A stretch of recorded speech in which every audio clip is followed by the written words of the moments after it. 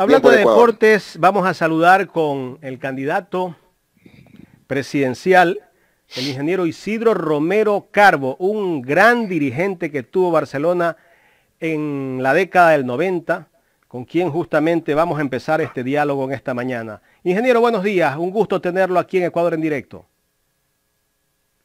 Nada, yo le agradezco muchísimo la, la presencia hoy día con ustedes y muy feliz como ustedes acaban de expresar, yo creo que los ecuatorianos ayer por la tarde pasamos momentos que hace mucho tiempo atrás, después de una pandemia, de miseria económica, de desastre político, de corrupción, nos dio una gran alegría a la selección ecuatoriana, la famosa TRI. Pero hay una verdad, todo lo que han hecho Carapaz, todo lo que ha hecho la chica de Riobamba, tienen un mérito impresionante porque el gobierno no da un solo dólar para nada. Es el esfuerzo único de ellos, de su familia. Eso es increíble lo que está pasando en el Ecuador. Es un mundo de ellos muy personal que quieren triunfar y quieren luchar y lo han demostrado que sí somos capaces. Pero imagínense ustedes, una, una, una eliminatoria de campeonato del mundo que no la pasan por televisión abierta han privado a la mayor parte de los ecuatorianos de poder ver tremendo partido del día de ayer. Gran goleada a la selección colombiana. Bienvenido sea todos esos grandes jugadores, esos chicos, esos, esos jóvenes, ese Plata, ese Estrada, chicos jóvenes con un entusiasmo y se reían y se divertían en la cancha. Esos son los jugadores que necesita un país no los que están asalariados hasta el máximo, que se convierten en generales de los generales y no sudan la camiseta como sudaron esos chicos. ¡Qué entusiasmo! Mira, si esto así jugara la selección, seremos campeones del mundo. Fíjate lo que yo te digo. Ya Brasil lo tenemos muy cerca, Argentina muy cerca, a los peruanos los barremos, a los colombianos igual. Por eso es que el ecuatoriano hoy debe sentirse feliz, mirar con optimismo lo que se viene en el Ecuador, y, demostrar que la gente sin ayuda de los gobiernos y menos de este gobierno han sido capaces de obtener grandes títulos deportivos como lo han obtenido estas cuatro personas, sobre todo ayer la selección del Ecuador. Bienvenido a ellos y los felicito a todos ellos. Y yo viví 15 años de vida en Barcelona y sé lo que es triunfar, sé lo que es golear, sé lo que es dar satisfacción a un pueblo. Eso dieron ayer 11 grandes jugadores al Ecuador entero. Y es una pena. Señor presidente de la República, ya te vas, te vas muy pronto, pero deberías haber abierto ayer los canales de televisión para que todos los ecuatorianos pudiéramos haber visto y dicho ese gran partido del día ayer. Pero ni eso has dado la satisfacción a un pueblo ecuatoriano que está ansioso de triunfo y de alegrías. No hablo más de esto porque no va al caso ya, pero sí quería felicitar a todos los grandes deportistas ecuatorianos que han, obtenido grandes éxitos en estos últimos cuatro meses. Ingeniero, para cerrar el tema deportivo, si usted le tocara escoger entre ser empresario, político, dirigente deportivo, ¿por cuál se quedaría usted? Mira, mis mejores años de mi vida, y lo digo francamente y abiertamente, fueron mis 15 años como presidente de Barcelona. Realmente fueron años maravillosos, donde disfruté donde daba alegría a la gente, cuando salía de los estadios y esa gente gritaba de alegría, cantaban. ¿Qué más puedes dar tú a un país que siempre ha estado en joda porque lo han destruido todos los politiqueros que han pasado? Darle tanta alegría como es en el fútbol. Y yo te una cosa, mis mejores años fueron en Barcelona, definitivamente. Y a nivel empresarial creo que también me divertí muchísimo, lo pasé muy bien. Y ahora vamos en el tema político, ¿no?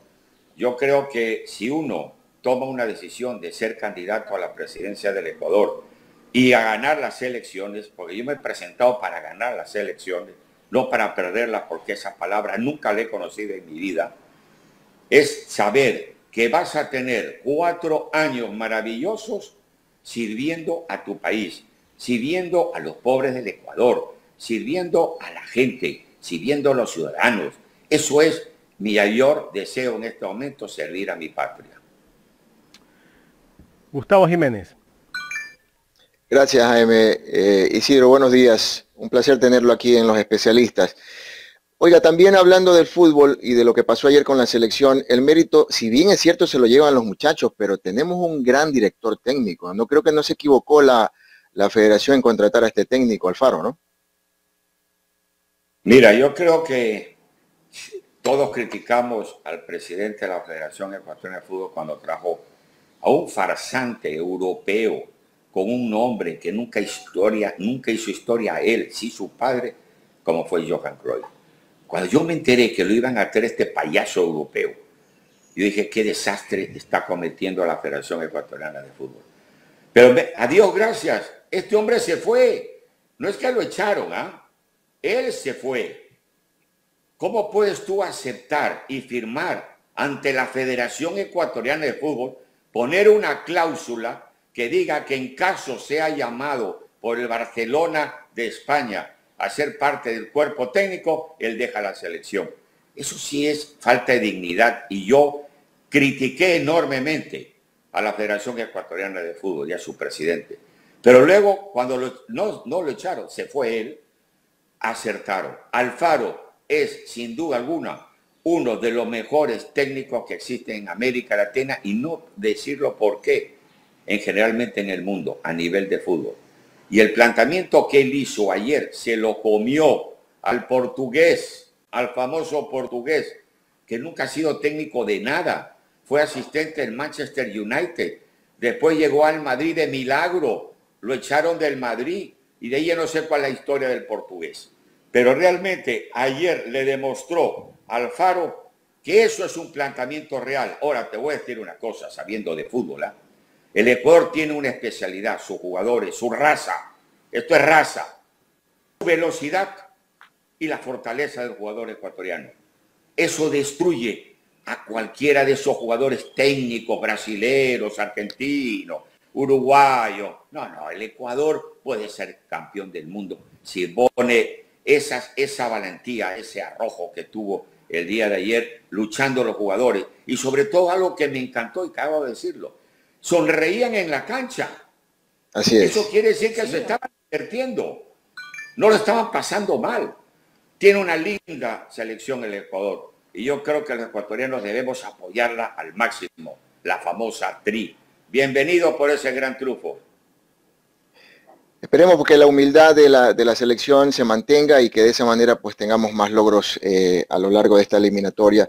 Vamos al candidato, al candidato a la presidencia de la República, Isidro Romero. Usted decía hace un momento, estuve 15 años fuera del país, hoy está en el país y se ha dado cuenta de una realidad que no le gusta ni siquiera al empresario como lo es usted y de alguna manera pues quiere dar un cambio al Ecuador y ofrece algunas propuestas, entre esas, por ejemplo, eh, traer la, inversión extranjera. Pero yo le pregunto, Isidro, ¿por qué la inversión extranjera no ha venido al Ecuador? ¿Cuáles son esas trabas que no permiten que el inversionista venga y vea al Ecuador como un país tan rico como lo que somos y en donde, haya, donde existen oportunidades para poder hacer riqueza y dar fuentes de trabajo? Eh, ¿Por qué no puede venir la inversión acá? Mira, primeramente te quiero decir que jamás he estado 15 años fuera de mi país. Es decir, decidí conocer el mundo, todos los adelantos que existen en Europa, en Asia, porque yo creo que el ecuatoriano tiene que salir afuera a conocer el mundo para aprender y decir, si algún día llego a comandar este país, mi Ecuador, poder hacer cosas importantes y cosas grandes. Y nunca dejé el Ecuador. Durante estos 15 años he invertido muchísimo dinero en el país. Y siempre estuve un mes aquí, un mes afuera, un mes aquí, un mes afuera, pero todo lo consideraba que Isidro Romero vivía en el exterior. Nunca realmente viví en el Ecuador. Pasé un tiempo de un mes en un mes en el, en el exterior y luego venía al Ecuador. Pero bien, no tiene ninguna importancia. Lo que sí hay una verdad, cuando tú sales afuera y ves otros países, los avances que han hecho, y mirar que el Ecuador, que es un país tan rico, mucho más rico que España, más rico que Francia, más rico que Alemania, ver el desastre económico y social que tiene el país. Eso es lo que te extraña y te hace querer más a tu país. Eso es una verdad. Y ahora vamos concretamente a lo que tú me has dicho. Todos los cuentos farsantes realmente que ha tenido los politiqueros en el Ecuador, los presidentes que han pasado durante 40 años, todos esos ministros de comercio exterior que hablan que van a traer 10 mil, 15 mil millones de dólares al Ecuador, todos son unos mentirosos y farsantes, viajan por el mundo entero, se divierten y no traen un dólar. Eso ha sido la realidad del Ecuador. Y yo digo el por qué. Por una sencillísima razón. El Ecuador no da seguridad de inversión. Y le voy a explicar algo. Yo hace 10 días estuve 5 días en Europa, en España, reuniéndome con todos los migrantes ecuatorianos. Vinieron de Italia, vinieron de Inglaterra, algunos de Alemania, pero la base está en España. Y luego me reuní con las cuatro grandes empresas en España, con la idea de estantear y saber qué piensan en invertir en Ecuador. Y me decían, tu país es complicadísimo, pero es un bombón de país. Es un país de una belleza maravillosa, de una riqueza extraordinaria. Y te voy a decir algo, Isidro Romero, hay dinero para morir, hay demasiado dinero en el mundo. Lo que tú hablas, una inversión de 12 mil, 15 mil millones de dólares, no es nada lo que se puede invertir en tu país. Y eso te lo dicen compañías en el exterior que manejan los fondos internacionales, porque las compañías constructoras, las compañías eléctricas, no invierten, lo que invierten son los fondos internacionales. Y realmente, ¿qué es lo que ha pasado en el Ecuador? Primeramente, las fotografías que hemos tenido estos últimos 14 años con nuestro socio el nicaragüense, nuestro socio el venezolano, nuestro socio el cubano, nuestro socio el argentino. Vaya gallada de sinvergüenzas. Esa es la reputación que mandó al Ecuador al mundo. Pero aparte de ello, tenemos que ser conscientes. Si el Ecuador no cambia la ley laboral, no cambia la ley tributaria, no cambia la política fiscal y no cambia la seguridad jurídica en este país, jamás vendrá inversión extranjera, ni nacional. Hasta los nacionales dejan de invertir hoy día. Ahí hay más de 30 mil o 40 mil millones de dólares de los ecuatorianos afuera. No traen un dólar. ¿Saben por qué? Porque no les dan confianza y dejan su plata afuera. Eso es lo que se va a cambiar en este país. Y le voy a decir una cosa. Muy bien. La inversión que ha el país en el año 2019 en relación al nivel del, PIB es apenas del 1%.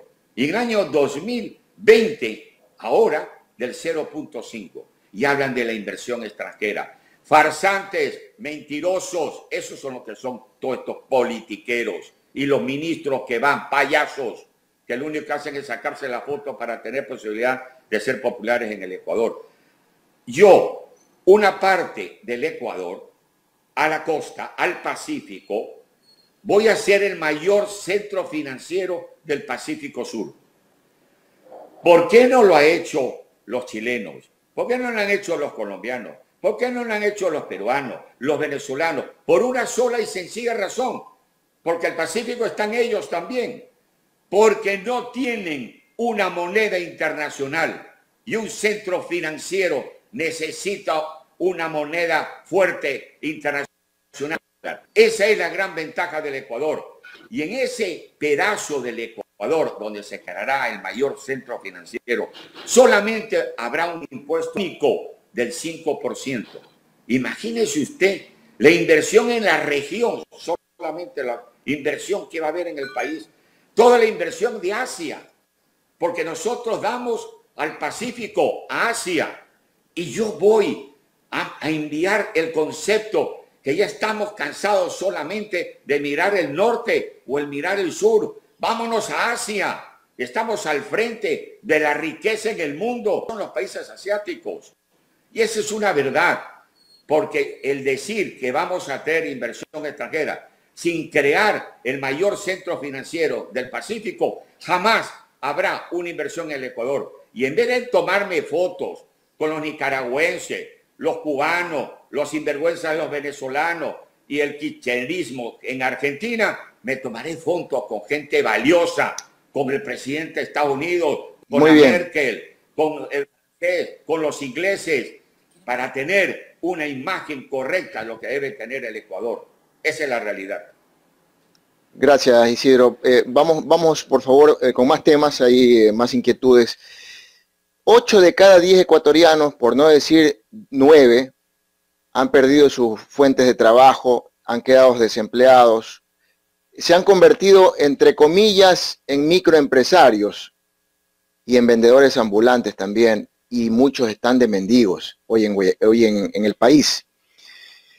¿Cómo luchar con eso cuando tenemos a la espalda una pandemia y una crisis económica mundial que nos está afectando?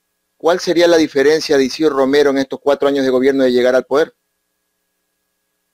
Te voy a decir algo, y lo tengo clarísimo. ¿Tú sabes lo que es levantarte toda la mañana y pensar, tengo una obligación con mi país y si llego serán cuatro años de servicio? Tengo que hacer las cosas bien. O si no, te vas a enredar que te van a sacar del Ecuador. Porque hay una verdad. El mayor problema que tiene este país, aparte de la corrupción, que ha sido la vergüenza en el Ecuador, corruptos, que no habrá ni perdón ni olvido en mi gobierno para estos corruptos y tendrán que ir a la cárcel, no cárcel, cárceles. Y hablaremos sobre eso luego. Pero hay una realidad. Lo más importante para poder dar trabajo y empleo al día siguiente que esté sentado en Carondelet, ¿sabe qué es? El motor más grande que tiene este país económico, que es la agricultura. No hay país grande que no ha desarrollado su agricultura. Y llevamos 40 años abandonando la agricultura. ¿Usted cree que hay derecho que la ley agraria, agropecuaria en este país data de 40 años atrás? ¿Cuántos gobiernos han pasado? ¿Cuántos ministros de agricultura, payasos han pasado? Y jamás han reactivado la ley agropecuaria en este país con las nuevas tecnologías que existen y las nuevas iniciativas alimentarias. Pero nadie ha hecho nada. Atiéndame bien. Yo activando solo 200 mil hectáreas los primeros seis meses de gobierno, daré un millón de puestos de trabajo. Pero si eso le preguntas tú a todos estos candidatos que no tienen ni puta idea de lo que es un árbol de cacao o una mata de banano, no tienen ni idea de lo que es el campo, nunca ha sido picado por un mosquito, ellos creen que van a desarrollar algo. No son capaces de desarrollar nada. Ya es hora que los políticos se queden en sus casas cuatro años y dejen a un grupo empresario de éxito, porque este país vive de la actividad privada, de lo que hemos hecho en el país, no de los burócratas, no de los farsantes, no de los políticos, la actividad privada ha sido manejada por empresarios y por profesionales. Y eso es lo que yo quiero manejar este país, porque este país es el país más rico de América, pero a la vez es el más pobre de todos, porque los malos manejos, el desastre del manejo de la economía en el Ecuador, nunca han desarrollado las fuentes de riqueza que tenemos. Esa es la realidad. La agricultura será el motor económico y laboral y social más grande que va a tener el Ecuador porque ni la minería ni el petróleo, que hay grandes riquezas en este país, jamás van a dar tanto empleo y tanto trabajo como la agricultura. Y yo conozco, soy agricultor de hace más de 40 años y conozco lo que la agricultura representa en este país. Y todos estos gobiernos imbéciles han pasado por ella y se han olvidado que el país es agrícola. Al Ecuador lo convertiremos en la despensa de América y el granero del mundo. Se lo doy firmado hay una ventaja. No soy político. Un político está mintiendo lo que estoy diciendo yo. Bien, eh, Jaime, la última pregunta que hago y le doy paso luego a usted. Y si usted ha dicho hace un momento, este país está colmado de corruptos. Usted ha dicho no va a haber ni perdón ni olvido. Es decir, usted va en su gobierno de llegar a ser presidente, va a luchar contra la corrupción y también contra los corruptos que no han dado la cara, como por ejemplo hay un expresidente de la República, Rafael Correa, que tiene juicio, está sentenciado y que no lo pueden traer, la Interpol se niega a traerlo porque cree que esto es una persecución política. ¿usted traería o haría fuerza desde el gobierno para que traigan a rendir cuentas, como por ejemplo, y le pongo directamente un ejemplo, Ramiro González también tiene tela que cortar y tiene juicios pendientes y desde Perú él tampoco puede venir al Ecuador a enfrentar la justicia. Mira, yo te digo una cosa, aquí no ha habido autoridad, aquí no ha habido orden, aquí la justicia no ha existido. Esto es un, es un vandalaje completo, esto es la selva amazónica. Aquí nadie, aquí te roban, te asesinan, te matan, te violan y no pasa nada. Atiéndame bien, señores. Yo no voy a perder mi tiempo en mis cuatro años que llegue a la presidencia del Ecuador. Les voy a decir una cosa. Yo no necesito 100 días para que valoren al presidente, a Romero. Necesito 30 días nada más. Y después no necesito cuatro años para reordenar este país. Necesito dos años para reordenar este país, porque sé lo que voy a hacer.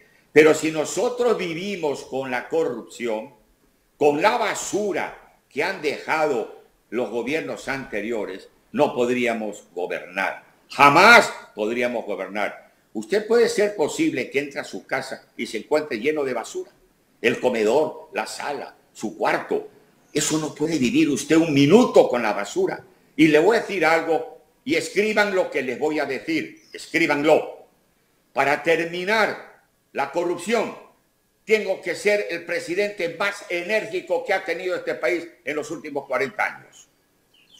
Y no le extrañe a usted y a ustedes que el primer día que esté en Carondelet le dé orden al ministro del Interior o ministro de Gobierno que mil tres mil burócratas y muchos empresarios en este país que han hecho la corrupción y políticos. Tres mil para ver si al día siguiente alguien se atreve a este país a robar a los ecuatorianos. Porque aquí tiene que haber un líder. En el Ecuador no hay líderes. Son payasos los que han gobernado en este país. Y aquí debe haber un líder para que ponga autoridad y que ponga decisión y que respeten y que vuelva a ser un país de principios y de valores y no de corrupción. Que se preparen los corruptos, que se preparen los ladrones. No tienen existencia en mi gobierno. Y les voy a dar palo, como se dice, harto palo, para que aprendan a no robar más. Y cualquiera que se atreva de mi gabinete, porque yo a cada ministro le haré firmar, pondré dos firmas en una página. Una aceptando su cargo, ¿no? Y dos, él mismo escribe, en caso de que me encuentren robando, voy 10 años a la cárcel. Y yo seré el primero en denunciar si él, algún ministro es ladrón. Yo seré el primero. Y lo mandaré a, la, a la plaza de San Francisco para que vean el tipo de ladrón que ha sido. Porque aquí hay que poner respeto. Y en el Ecuador no existe ni respeto ni autoridad. Y vuelvo y le repito, no habrá ni perdón ni olvido a todos los corruptos que han destrozado este país. Jaime, usted continúa. Ingeniero, tengo este, un comentario de Alejandro Reasco Cortés, dice, yo creo en usted, dice, ponga la cadena perpetua para los delincuentes y violadores y traficantes. Una persona que está conectada justamente nos escribe esto. Ese tipo tiene inteligencia, tiene huevos, quiere a su país, y toma una decisión, porque en este país hay que tomar decisiones cuando gobiernas. Yo definitivamente, los que matan, los asesinos y los violadores, yo pediré pena de muerte para esa gente. Será la única manera de poder tener una sociedad limpia y respetuosa. Los asesinos y los violadores, yo pediré al Congreso la ley de la pena de muerte, porque merecen, merecen, y estoy de acuerdo con el señor que te acaba de hacer esta pregunta, y me alegro que haya gente valiosa como usted. Ingeniero, ya en el tema, en otros temas, hablemos del tema de educación.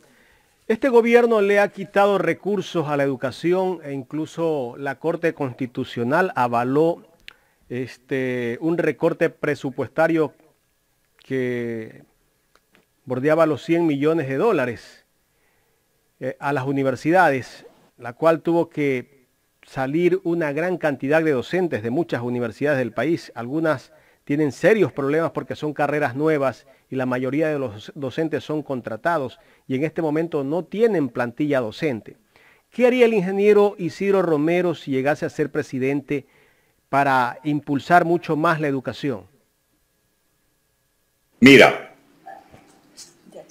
si nosotros no educamos a nuestro pueblo, a nuestros niños, no, hemos logrado nada en el futuro del Ecuador. No hay duda alguna que primero tenemos que reactivar la economía para hacer y tener la mejor educación que podamos incrementar en el Ecuador y lo mismo la mejor salud que podría haber en este país. El pueblo necesita salud y educación. Pero hablando de educación, el presupuesto que nosotros hagamos para que todos los niños ecuatorianos universitarios tengan la mejor educación y que todos tengan acceso a ella, todo el dinero que se necesite irá a educación y salud, que creo que son las cosas más importantes. No tanto los burócratas sueldos, más sueldos, más sueldos y más sueldos y no hacen nada, porque aquí la burocracia se ha sobrepasado. Pero hay una realidad. La educación para mí es fundamental. Yo me doy cuenta cuando recorro el país, que yo llevo ocho veces dando la vuelta, no ciclista, sino política, me doy cuenta de la pobreza que existe en el Ecuador. ¿Cuántos niños no pueden ir al colegio? ¿Cuántas madres lloran porque no pueden tener educación con sus hijos? Y yo digo, qué pena, tanta genio que nosotros hemos tener escondido en la clase de bajos recursos, que en un momento dado no han tenido la oportunidad de salir adelante. Una demostración más clara en el deporte es Carapaz, que el padre le hacía una bicicleta de madera no tenía para comprar una bicicleta. Nunca tuvo la oportunidad de educarse, de ir a las altas escuelas de ciclismo en el mundo. Eso es lo que yo quiero de mi país. Tener las oportunidades que todos los ecuatorianos, todos, sobre todo los pobres de este país, porque voy a trabajar para los pobres, no para los ricos. A los ricos que trabajen otra gente, pero para los pobres trabajaré yo para ellos. Y ahí estaré yo presente con ellos. Y le voy a decir una cosa. En Carondelet siempre haré un día a la semana para que vengan los agricultores, los campesinos, los artesanos, los niños, los universitarios, la gente que necesita trabajo. Esa es la gente que me voy a dedicar a ellos. Porque los empresarios les daré todas las herramientas para que sigan creciendo. Jamás me podré ir contra la actividad privada, que soy parte de esta historia en este país. Pero lo que no va a permitir a los empresarios es el abuso. El abuso en este país se acabará. Y esa es la realidad, a base de fuerza y de energía que vamos a implementar en el Ecuador. Ingeniero, finalmente, porque sé que tiene otra entrevista, ¿qué piensa usted de los políticos que tienen más de 40 años dedicado a, su, a una carrera política y que hace poco perdieron unas elecciones y están intentando regresar. Pongo este, este ejemplo que se está dando en, en Machala, si no me equivoco, en la provincia del Oro. Hay un político que fue alcalde, fue concejal, fue prefecto, fue asambleísta el, hijo fue alcalde, fue presidente de la Federación Deportiva del Oro, ha ocupado todos los cargos habidos y por haber. Pero ese mismo partido que lo llevó por primera vez, nuevamente está intentando llevarlo a la Asamblea. ¿Qué piensa usted de estos políticos que tal vez no han hecho lo que tenían que hacer y vuelven a pedir una oportunidad? Mira, eh, no sé si tú has ido a Galápagos, pero cuando tú visitas las islas, en Galápagos, existen los lobos de mar. Pero cuando los lobos de mar ya están viejos, ya están pasados, ya crearon una historia y quieren volver otra vez a la manada, no los dejan la gente joven, los lobos jóvenes, los dejan aislados en un pedazo de isla. ¿Saben lo que yo les digo a todos estos politiqueros? Váyanse a Galápagos. Y por lo menos van a respirar aire bueno. Pero dejen alternativas porque muchas veces hablamos de emprendimiento, que solamente pensamos que el emprendimiento es para los jóvenes. Es mentira.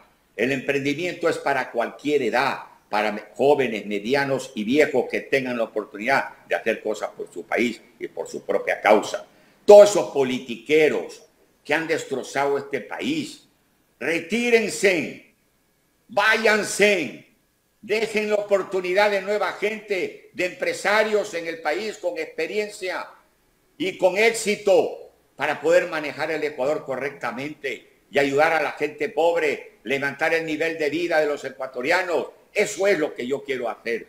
No es solamente, el, has mencionado a la persona de Machala, quien lo conozco, lo respeto y le tengo un gran afecto y cariño. Pero también hay que hacerle ver que ya fue historia del pasado. Yo pude volver a ser presidente del Barcelona cuando yo quise y cuando yo quiero.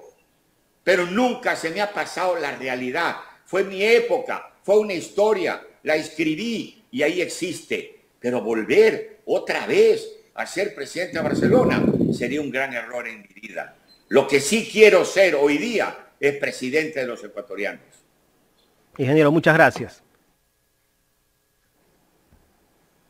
Gracias, ingeniero. Gracias a ustedes.